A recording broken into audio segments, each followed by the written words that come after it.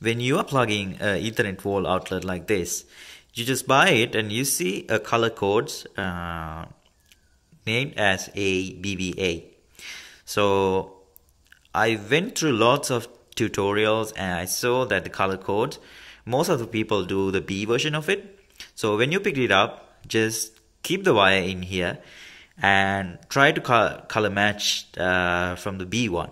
So if you get it like that just forget A in both sides even from the down row or at the up row and just do the B one. So uh, when you picked up a ethernet port uh, and also uh, ethernet wire you can see that the colors are uh, brown white brown blue and blue white.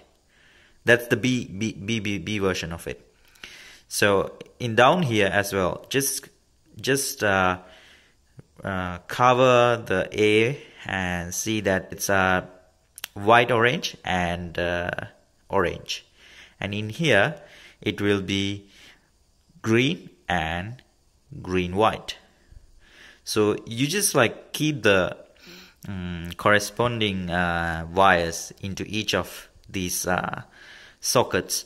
And you will receive this kind of uh, uh punched punch down tool uh, when you buy uh, a wall out, outlet wall wall socket of ethernet.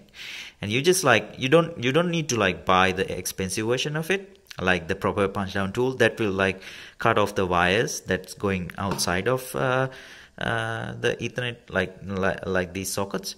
So just like punch it uh, uh, keep the wire and punch it like this.